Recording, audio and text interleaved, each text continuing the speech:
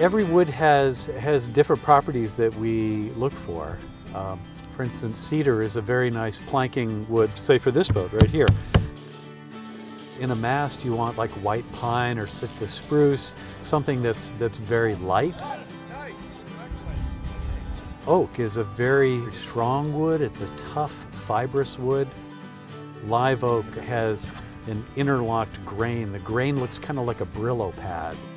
We use it for frames and we use it for knees. A knee is like an angle bracket, like a shelf bracket. It's a part that has a very strong curve to it. Material you see behind us here, this is white oak logs that we've recently acquired that will be used for the restoration of the Mayflower.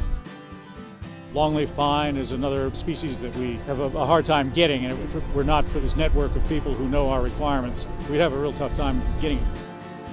The seaport has developed relationships with municipalities throughout the eastern seaboard and the Gulf Coast, as well as foresters, to let us know when any real sizable pieces of the kind of wood that we look for come down or are available after Hurricane Gilbert or Hurricane Katrina, we were able to harvest wood that had been blown over by the hurricanes or wood that had been killed by saltwater inundation. So these magnificent trees that are lost to storms find new life in America's tall ships being preserved here at Mystic Seaport, that there's some compensation to the community for the loss of that aesthetic beauty.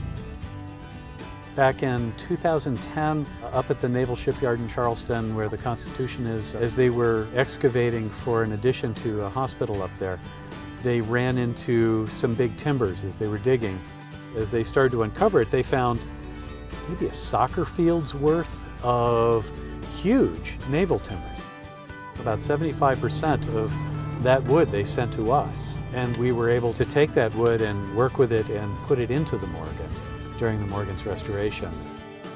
Finding a piece of wood that has grown to the shape that you need already is infinitely satisfying.